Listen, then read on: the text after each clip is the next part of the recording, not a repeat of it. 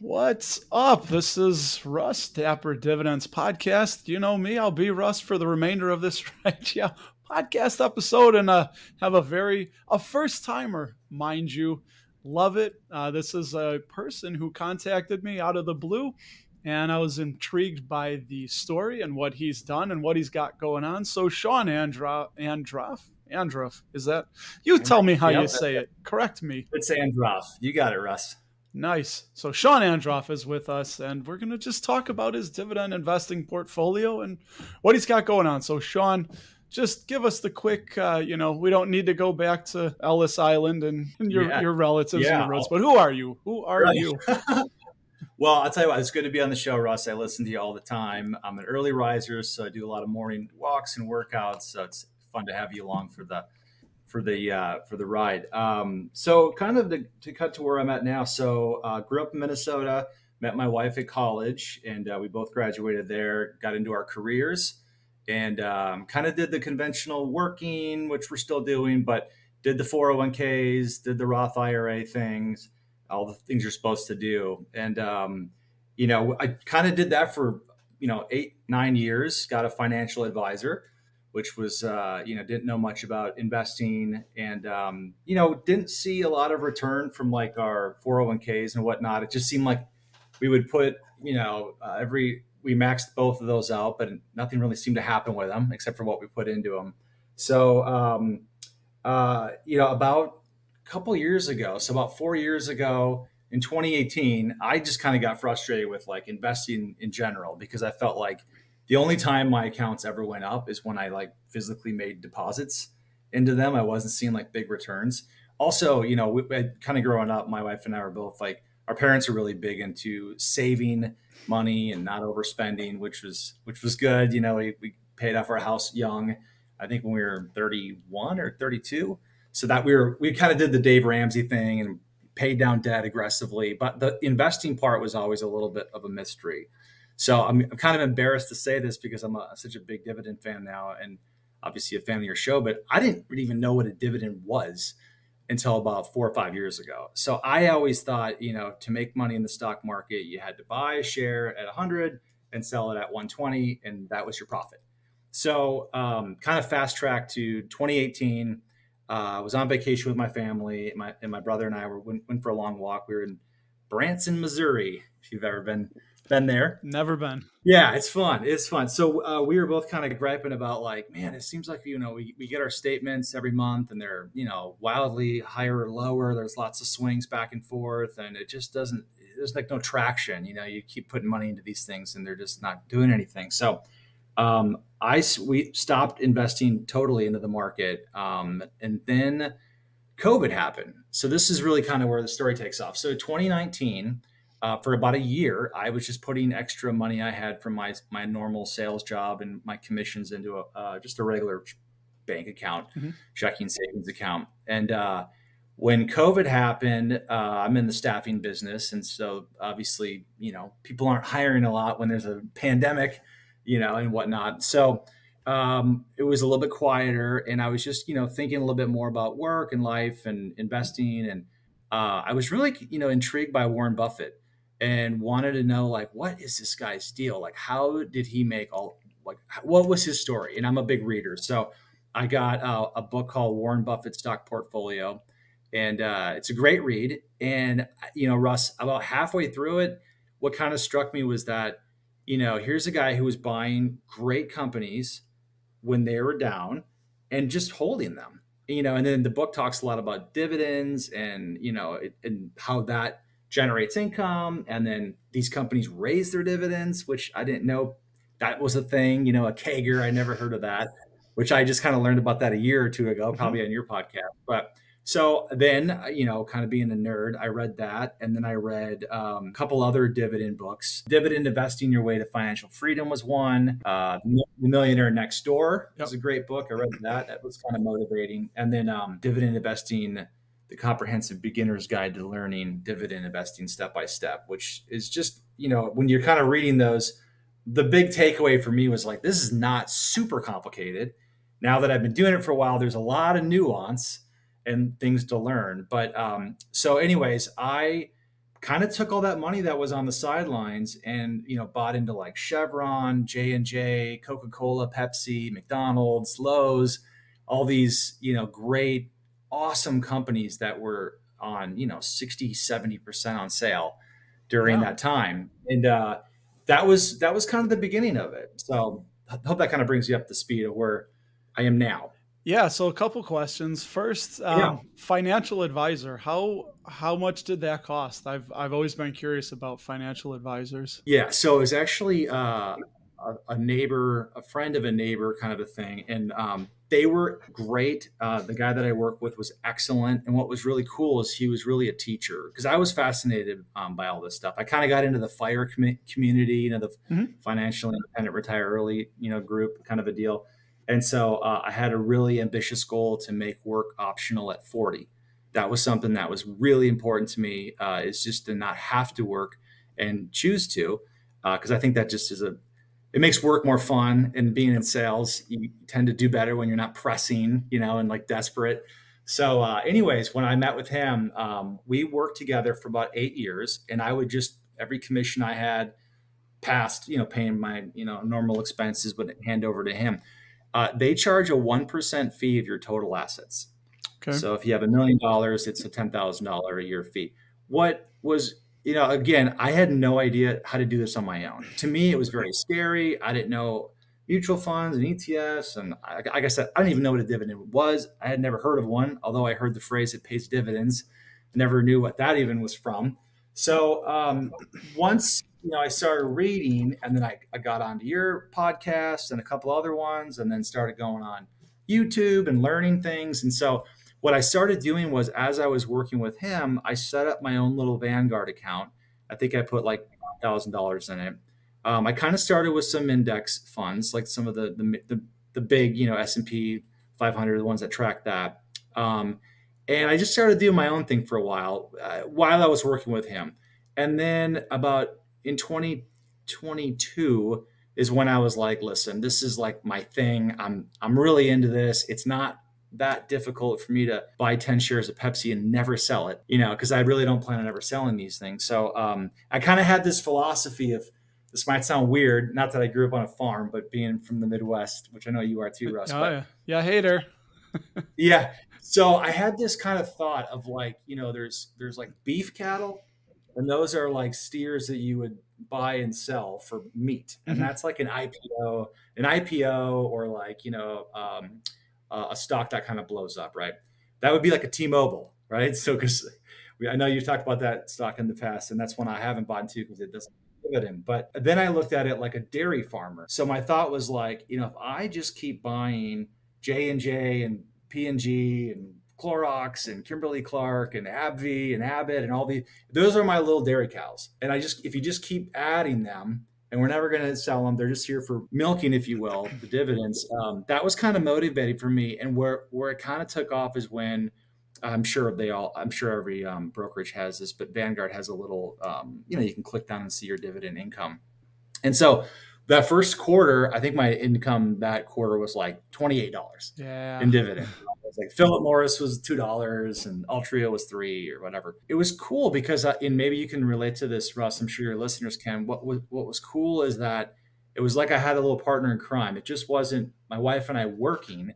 There was this other. It's funny we we call him Vandy because of Vanguard. So like we we have like this hypothetical dude, whatever, that works nonstop, twenty four seven, and so. um you know, then the second quarter of that year, you know, it went up to I don't know, 600 or something, because we were really funneling into it.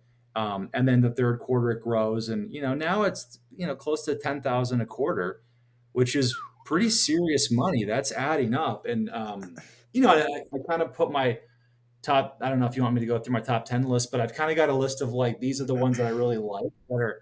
Um, you know, kind of generate the most income for me. But it's just been really motivating to see that grow. I want to go back to you saying that it was kind of scary thinking about doing it on your own. And it's just, it's really unfortunate that a lot of us are never taught that you probably don't need a it, mo, for most people you could just buy the s&p 500 just buy spy uh, that's probably what i'm going to end up doing with my girls like you know you've heard me talk about it all you all y'all that listen have heard me say that it's just I'm sending the message. They're just they don't want to receive it, and you know, there's nothing you can do about that. Every individual is their own person.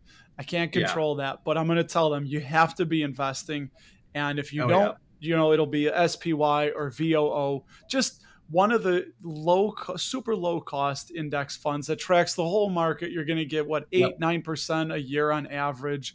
Just reinvest yep. it. You don't have to worry about it, but you know, and, and you said ten thousand dollars. That's pretty apropos because you're probably going to start making that money back that you paid uh, the advisor friend. Yeah. Um, was there any regret? Was yeah. there any pushback on his end when you said you were going to kind of do it on your own, or was he?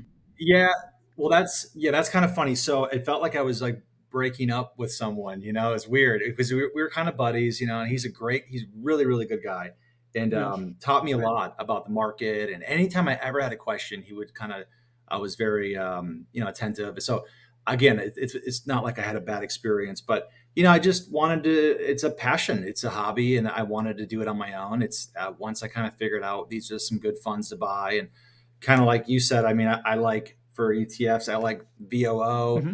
VIG, VYM, uh, VTI, all those kind of uh, funds. I also do Noble as well.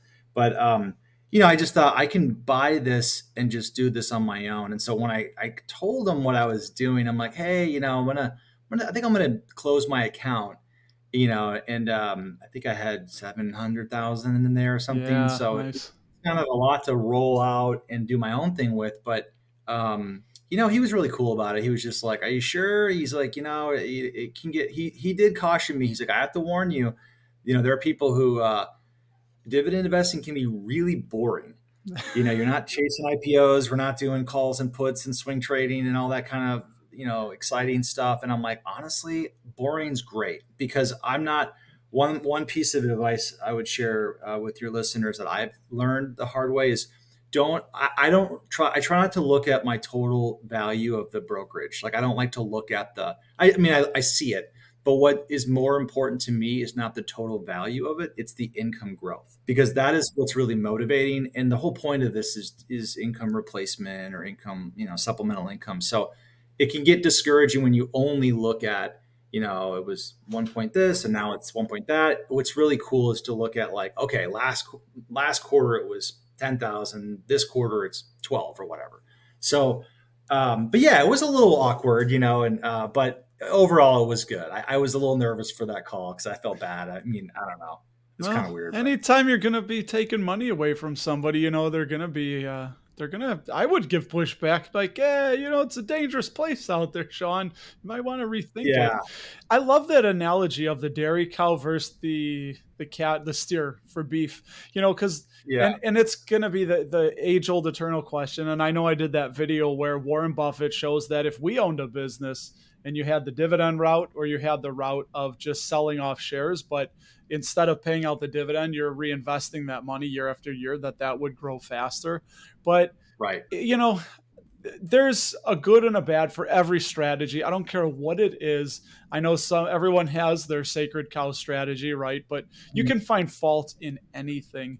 And you know, yeah. I, I've I've if you're on the live streams ever, there's uh, Casey, uh, Caitlin Kate is a member. She's you know always trying to talk me into different things she's looking at, and I'm you know I say well personally my thing is like yeah i know some stocks that don't pay dividends and that, that, you know that's one of the knocks on dividend investing and that's fine is you're going to miss a lot of the non-dividend paying companies but right. for me and my goal and what my wife and I you know she's on board not you know not as much into it as I am but uh, what we like is what you addressed on is people working for us all over the world 24 hours yeah. a day 7 days a week just you, you're you have th- hundreds of thousands of employees, which is such a cool thought.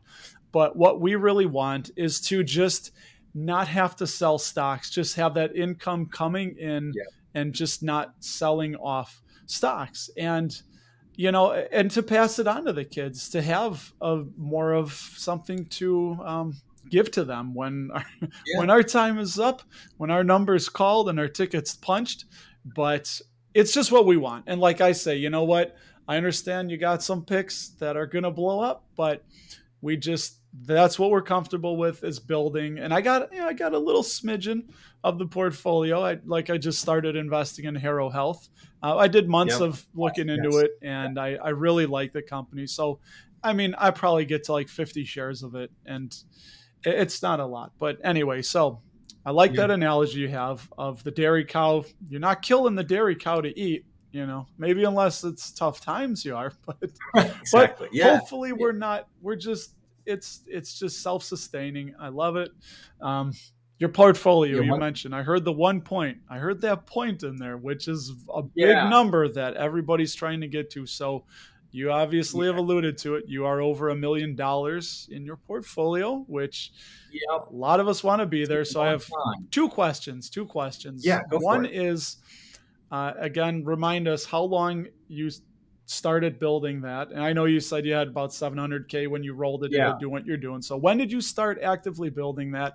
And then two, you had said you were buying like Chevron and PepsiCo and, and things of that nature. So yeah. um, did you have any method to picking those when you did, or were you were you buying a lot during the the pandemic collapse? So you you shared with me yeah. what you got. You got a lot. You got a lot, Shaun. So yeah, well, how did you start picking them? So we, I mean, we just we we got into good career paths and jobs, and you know, I've been at my company 17 years. My wife's been at her company 18 years. So we're, we're kind of like old school, like you know, worked hard in school, got good jobs, and just stuck with them. And you know, like I said, we so we've been working on this for I guess you know 20 over 20 years now. It, it adds up. But um, the big thing for me was. Uh, so, for example, like I, I, like to buy companies that I see every day, right? So, like I, I like and I like duop- duopolies.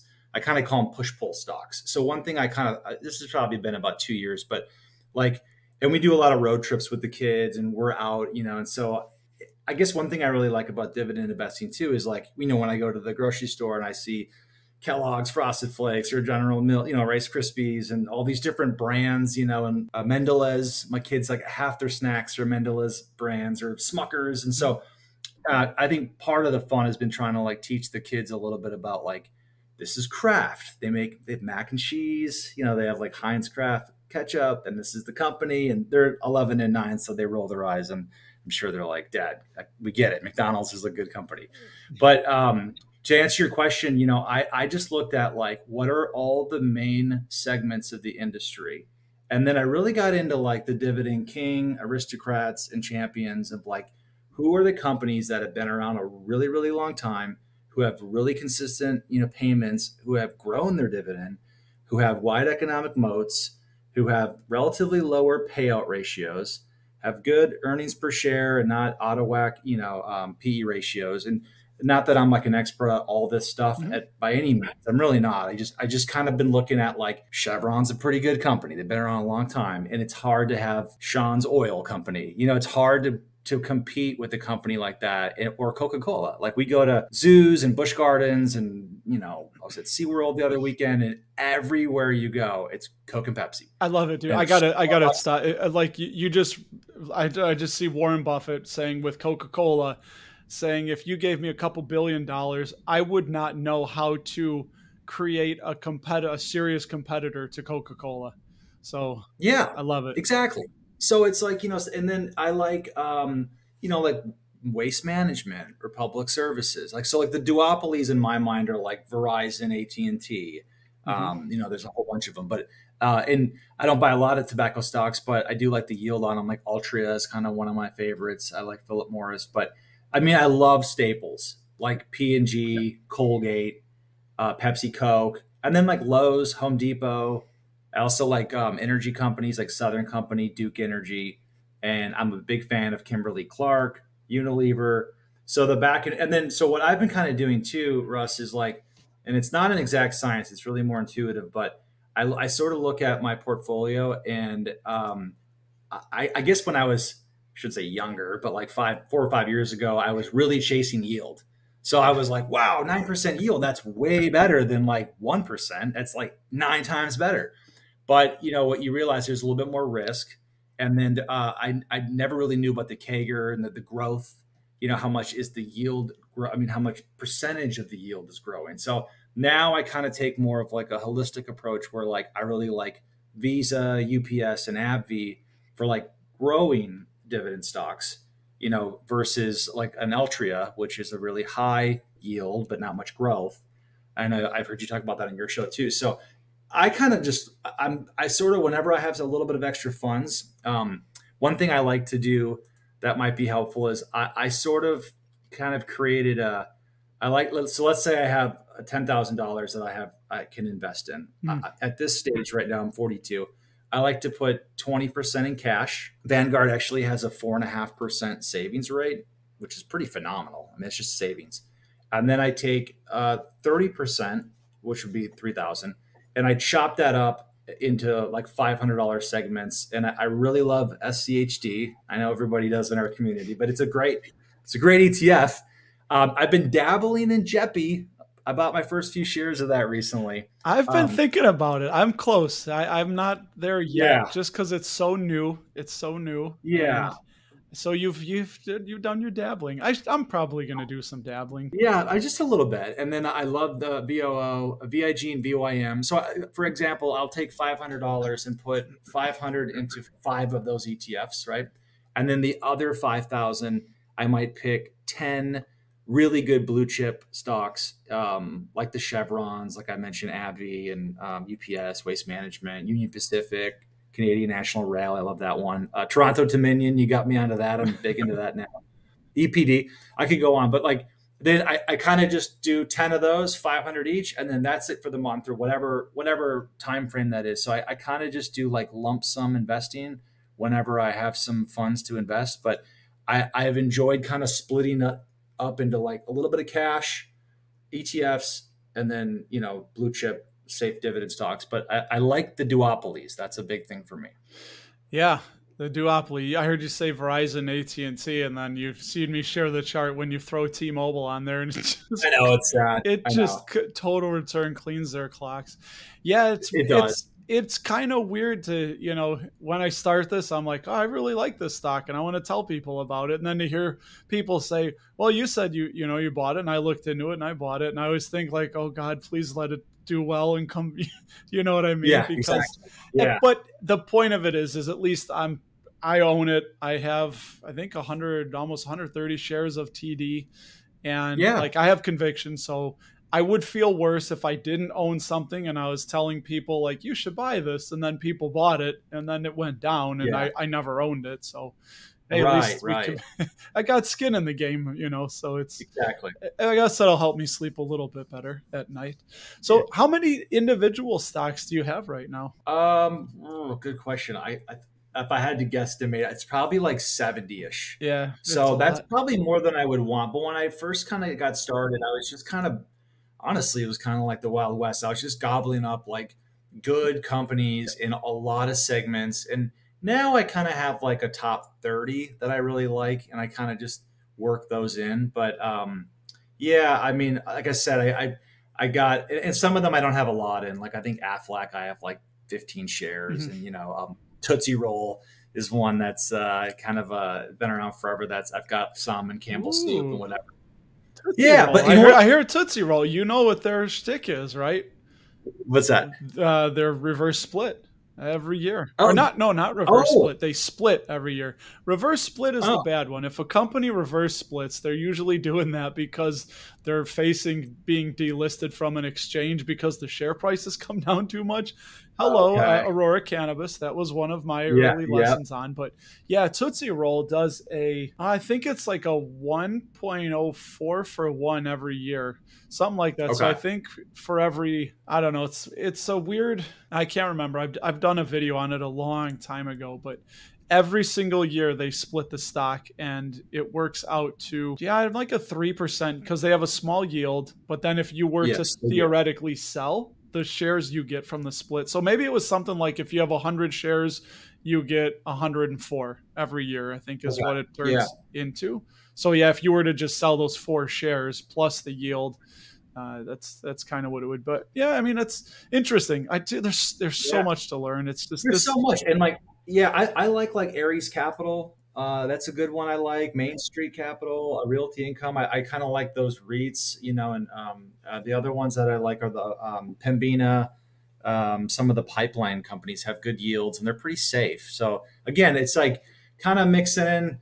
Sometimes I'll add a little Visa just to get the growth and UPS, and then if you want to hammer the yield, I'll get some EPD or whatever. It's just it's kind of like you're sculpting a little bit to keep it well rounded. But it's a blast, man, and I love your show. It's fun to listen to. This is a great community. It is, and you said Ares Capital and Main Street Capital. That all stemmed for me from Ian Lopik's interview with Greg, the dividend monster. I don't know if you caught that. I know I talked about it. And his turning me on to The Income Factory by Steven Bavaria, what is interesting, yes. really interesting book. And yeah, I gotta read. Uh, yeah, because I always had I, have looked into very briefly at some of the BDCs, and I never really understood them. And yeah. they're built to pay a higher yield, but you know, it's uh, I think people are going through it with oh, I don't remember who, but there's point being that even if they have a cut, usually it's not for very long. Uh, they'll raise that dividend again, but I don't know. They're just they're built to pay out a higher dividend yield. That's like the simplest way to explain it. And yeah, so anyway, I bought Ares Capital and Main Street Capital. Uh, I know my guy Ryan Williams likes uh, Orc. Um, I think, or Owl Rock, I think, Owl Rock Capital. I think it's ORCC. So anyway, but the thing is, is that the dividends are not qualified with the yes uh, Ares Capital with the BDCs.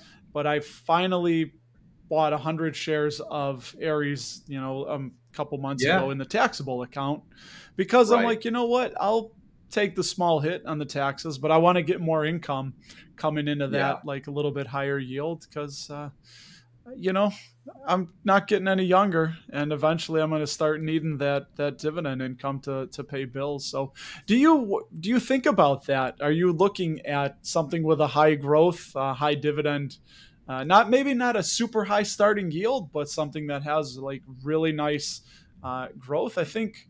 I think uh, yeah. Starbucks might be something that's like that. That yeah, pretty I like Starbucks. Yeah. I heard somewhere they're building what is it like one new Starbucks every nine minutes in China for the next three years. Like the growth is outstanding. And it, again, I I get out a lot, and there's Starbucks everywhere, and they're packed. So it's like, you know, I think for me, the couple weird ones are like 3M. 3M's kind of been a head scratcher. I used to buy a lot of that. What are you doing like, with What are you doing with 3M? What do you think? Well, I'm not selling anything because I don't yeah. sell anything, but yeah. I, I, haven't been buying more of it because of the lawsuits, and the, it just keeps going down. I, I don't. I mean, but it's so big, and they they're in so many products. So I'll probably pick up some more. But do you like them now, or? Yeah. So I had said I was going to buy I was gonna buy more when it went into the low 90s, which it did, but I think I bought three shares in the Roth at like 99.50 or something when it went okay. under 100. But just just in the Roth, I'm gonna hold those for a long time, and I I don't know. I I could think it could get ugly. It's gonna be public sentiment. The market you know, yeah. we always say the market doesn't like uncertainty. So they had what looks like they might have a settlement with the PFAS, the Forever Chemicals. I think 10 billion is a number I saw. But right. the, the, earplugs, the that's going to be the big one.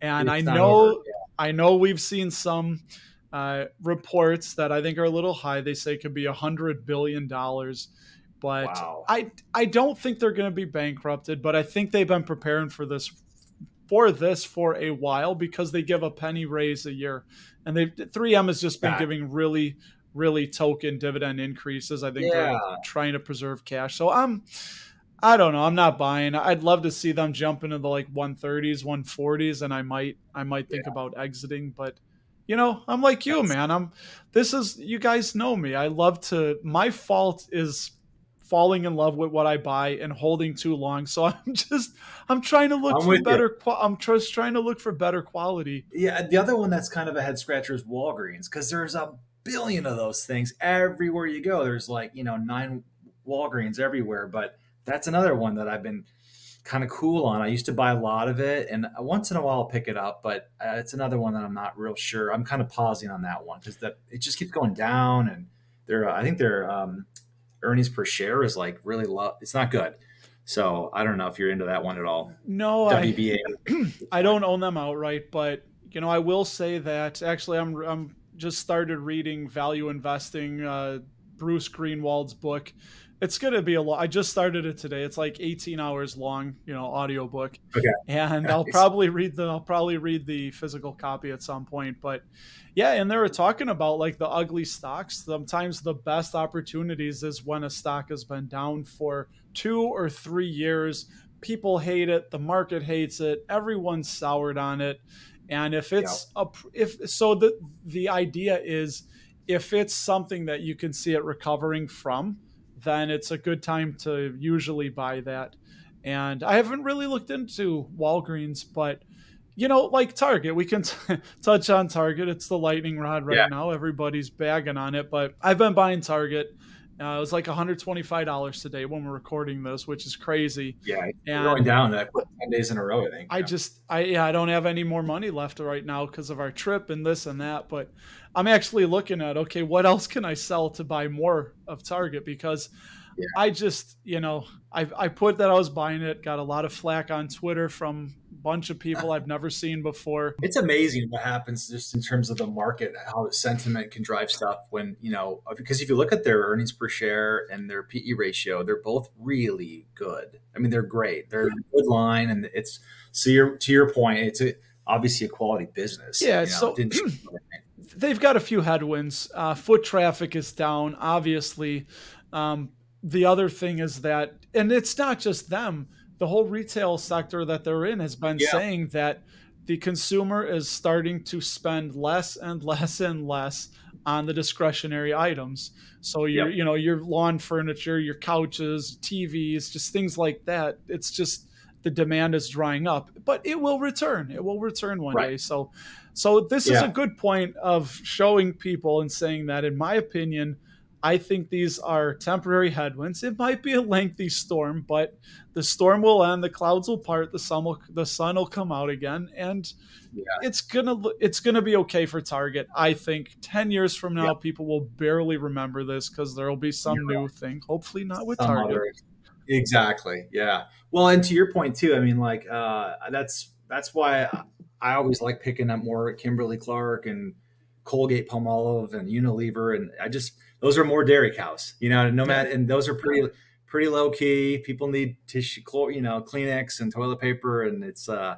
So anytime I can grab more of that stuff, I'm I just keep adding more to it because I feel like it's so low risk.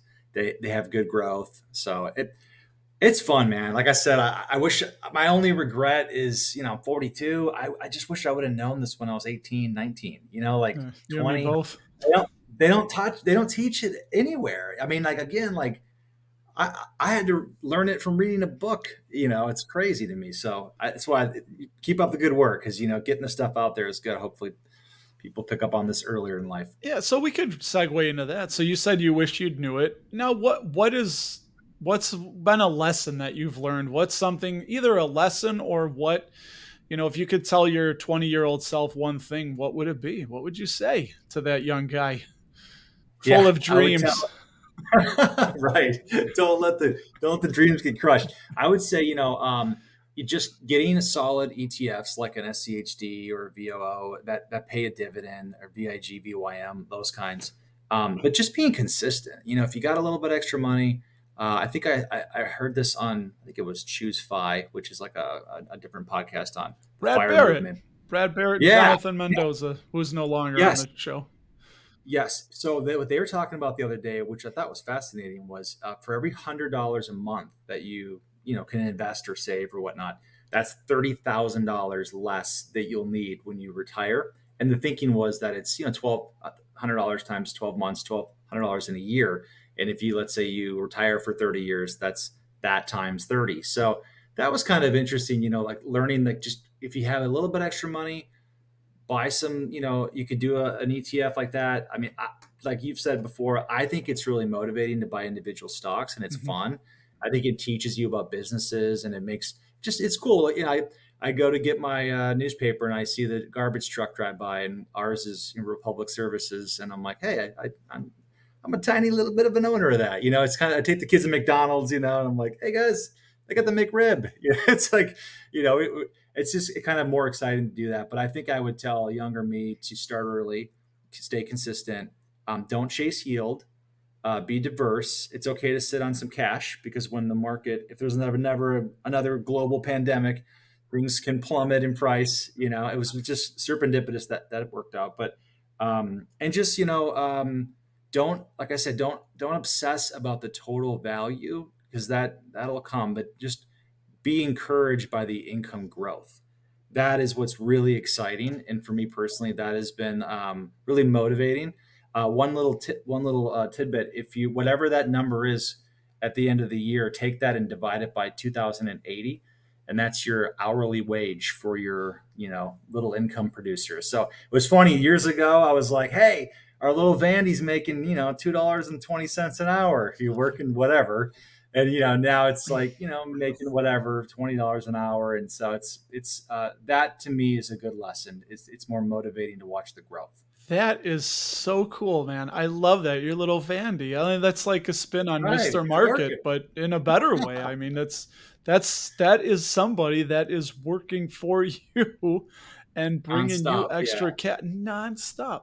And so that 200 you said divide it by 280. That's how uh, many 2080. 2080. Yeah, so there, uh, yeah, there's 2080 like work hours in okay. a year cuz it's 50 times 40 and you know whatever. There's two I, weeks usually holiday. I I need to do that cuz when I've done the hourly thing, I'll just do it by you know hours in a day. So if it was like, yeah theoretically, two thousand yeah. yeah. So if it's like you know whatever the math would be for whatever, but uh, that that's kind of a fun little uh, exercise because you're like, how's my little worker guy doing in terms of hourly pay? You know, and it's fun to watch that go up. But I think if I wasn't doing that, it would be more discouraging. And I think my former financial advisor was probably alluding to like it's kind of boring. Mm-hmm. And I think it's because if you're just looking at your total value it doesn't go up a lot over time. It takes it takes a while.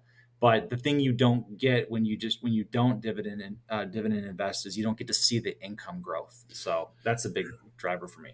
Right. Yeah. And and again, it and like you said, when I look at on my Schwab on my app, I I have it swiped over so it just shows the investment income. I don't even look yeah, at what the portfolio value is. I don't Smart. care. I mean, as long yes. as my investment income is steady or going up, then I'm happy. And it's just a great psychological trick because if the and you know speaking of saying you, you, wish you had some cash, two two things from what you said I want to address. One of them was that telling your younger self to buy ETFs. So for me, I would say like, look, if if you want to analyze and get to know businesses, like I'm a weirdo because I think it's cool and I'm I'm reading and I'm I'm always reading three books at a time. Um, yeah, one, I'm reading another one on analyzing financial statements um, by John. My problem is finishing them. I start a bunch and then I exactly, and I, I enjoy it. I like looking at financial statements, trying to see what a business is doing. But I would tell people, like, if you don't want to do that, if you don't really care, you're going to be at the mercy of other people's decisions about it and opinions.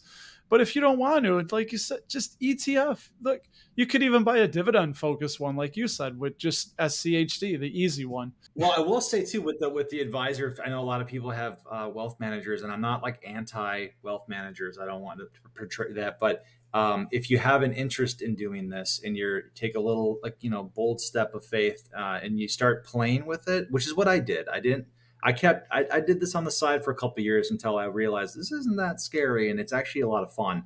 But um, you know those fees add up a lot when you start talking about that every year. It can be hundreds of thousands of dollars, and um, you know it's not as uh, not as difficult as that sometimes I think it's meant to be. It, it does. seems to be. And I, I know what I was going to say about you said don't worry about having a little bit of cash.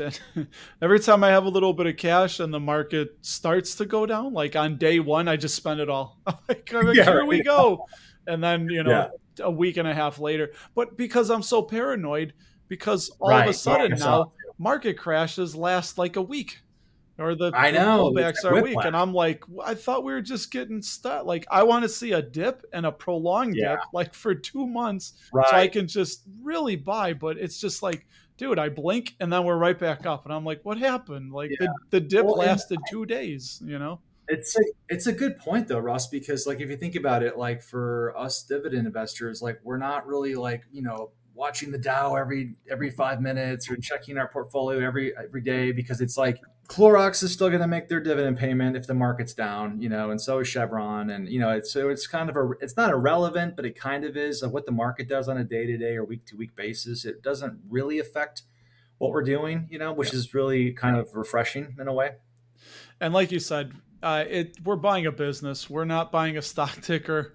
You know, the the stock market is a market of stocks, and we're buying businesses. And as long as the business is still a good business, then that's when you can get those disjointed values that Mr. Market presents you. And that's when a lot of the super investors like Warren Buffett, he actually he said one of the best things that can happen when he buys a stock, and if it were to drop 50% the next day, he's overjoyed because he's well, I guess the caveat would be that something detrimental to the the life of the, yeah. the business didn't didn't happen. Right. But yeah, if if you buy it and it drops the next day, you can buy more. It's like it's what right. you should hope for is that it can stay down. So speaking of buying stocks when they're down, what what's a stock that you really like right now? One, maybe two picks. What's kind of at the yeah. tippy top of your uh, your buy list? There's there's two that are kind of down right now. So Toronto Dominion's down uh, a little bit, and I, I, love that one. I think you turned that me onto that one. So I've been picking up more of that. Uh, I also read Kiplinger magazine. I'm mm-hmm. sure you've read that before. Your listeners do. Um, they they usually have their top dividend picks in there, and I think a few months ago they talked about EPD. Oh, um, and that's another really good one that I think's got about a seven and a half percent yield, but that was a, a top pick for them. So those two uh, I'm I'm adding more to when I can. Um, but you know, I don't I don't really chase like the 52 week lows. Again, like I I really I've been I've kind of gone down a, um, a wormhole on uh, um, waste management because they, they've got about a 17 year a 17% growth rate for the last five years in a row if my math is correct but they have really been growing their their dividend and you know people need garbage service so it's like that's the kind of stuff like UPS has been awesome with their growth. So I'm kind of more interested in just like the good companies that are growing um, instead of like um, I just don't have the time with young kids to look up what the highs and lows are, and I don't have all the fancy alerts. So it's yep. more just like, hey, I'm just gonna buy some more of a good stock. If I can get some more Apple and Microsoft for long term growth, um, lower yields, but but good long term growth too. You know, that's that's been my thought. I will say that as one who enjoys the whole idea of valuations and net present value and discounted cash flows, you know, my biggest gripe with that is you're predicting the future. You have to try to figure out 10 years from now what the cash flows are going to be and then discount that yeah. back to today. And it's just like, there's so, I mean, uh, there was one investor, I don't remember who said it, but he said the problem with discounted cash flows is that it's like looking through the Hubble telescope. If you turn it one inch in either direction, you're looking at a different galaxy. Yeah. And yes, it's kind of the same it's the same way. And I mean, so my thought is is like when I did with PepsiCo, I said, okay, I'm pretty confident that they're still going to be in demand 10 years and probably even 20 years from now so if yep. they're still a good business, people are going to want good businesses. Good businesses are always going to be in demand. And I looked back at the chart and I said, wow, in like the early part of the 2000s, Pepsi was like, I think 40 something dollars a share, maybe 60. I don't remember exactly. But e- either yeah. way, I'll bet you I could have found somebody there says, nah, I'm not touching Pepsi at 60 bucks. Yep. It is stupidly overvalued right now. And then yes. you fast forward to 2023 where it's pushing uh, $200 a share and all the dividends yeah. that were paid out. And my thought was like, should just overvalue, like it's such a subjective thing. So yeah. I and think, to your point, yeah. Russ, back then the PE ratio was like in the was like 41 or something, and then people were like, "Oh, that's crazy. That's way yeah. too high." And right now, right now it's at 37.82. But it, again, it's all relative because it's it's shot up so much from that. I mean, to your point, like they sell more food than they even sell beverages. And yes. So I'm a big I'm a big Pepsi guy too. Like Pepsi Coke, I'm all in on that. I just as much as I can get that stuff. And I don't drink soda. I don't get high on my own supply, as we say around. my kids like it, but you know. Brawndo, we need Brawndo. Has electrolytes. oh, dude, now you're gonna don't get me started on Idiocracy.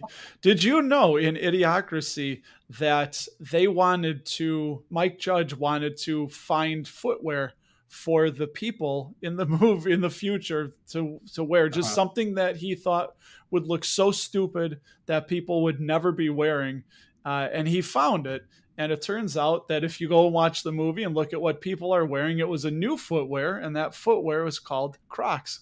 So yes, so I uh, I've never worn Crocs, but it's, now I laugh because everybody's yeah. wearing Crocs. and a lot of ways, we feel. And if if you're listening or watching and you haven't seen Idiocracy, do yourself a treat. So Go watch Idiocracy. Okay. I it's a fantastic movie and it's a cult classic. It's sadly kind of accurate. So if you want investing advice, kind of watch that movie and see. You know, Costco is still big there.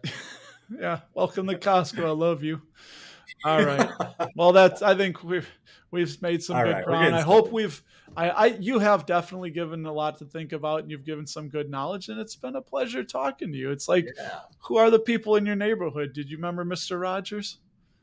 I'm not going to sing it who are the people in your neighborhood and that's that's about as much of it as i remember but he would meet the yeah. people in his neighborhood and we meet the people in our community so it was a yes. pleasure to meet you shaun yes. Uh, thank you russ. Thanks for having me on. If anybody wants to get in touch with you maybe you don't want people to get in touch with you. Is you is there anywhere that they can you can have um, a link? you know, i I'm or do you want to be private? and- yeah, no, I'm on TikTok. I got I just put up funny videos and stuff. We do uh, some um, dividend stuff too, but my my um, handle is uh, S H A U N Y seven seven.